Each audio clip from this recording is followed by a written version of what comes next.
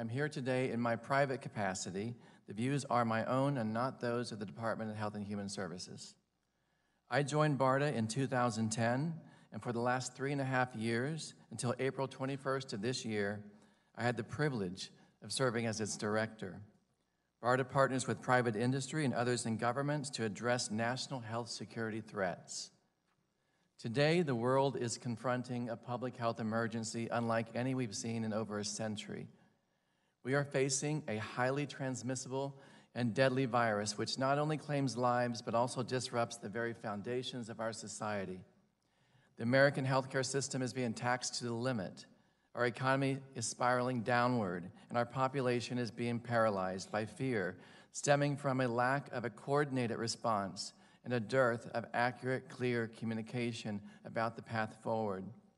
Americans yearn to get back to work, to open their businesses, and to provide for their families. I get that. However, what we do must be done carefully with guidance from the best scientific minds. Our window of opportunity is closing.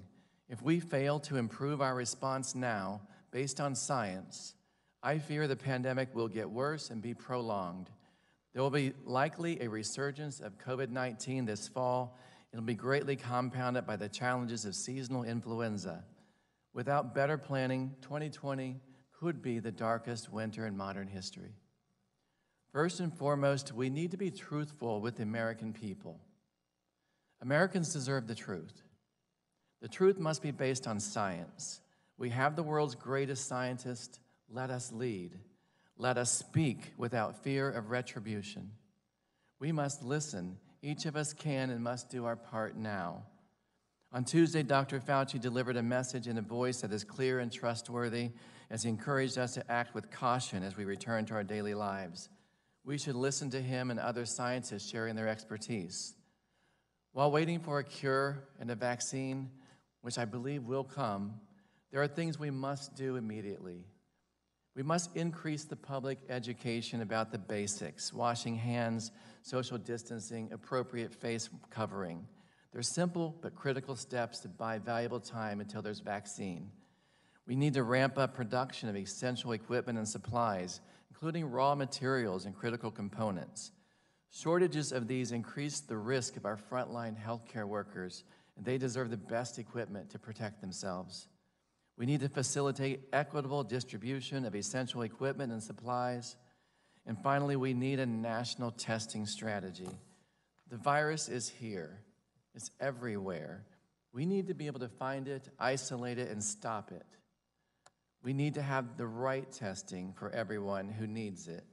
We need to be able to trace contacts, isolate, quarantine, and appropriately while striving to develop a cure.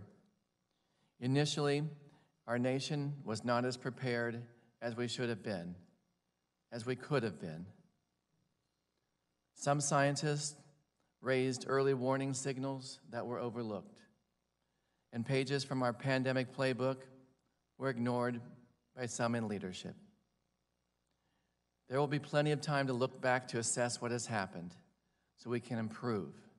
But right now, we need to focus on getting things right going forward. We need a comprehensive plan that everyone knows and everyone participates in. Congress has taken important steps to support the response, and there's much more we can do. With your help, we can get through this crisis. Working cooperatively, cooperatively with our global partners, we can and will succeed in finding a cure for COVID 19.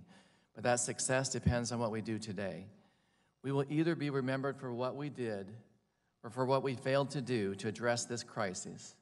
I call on all of us to act to ensure the health, safety, and prosperity of all Americans. You can count on me to do my part.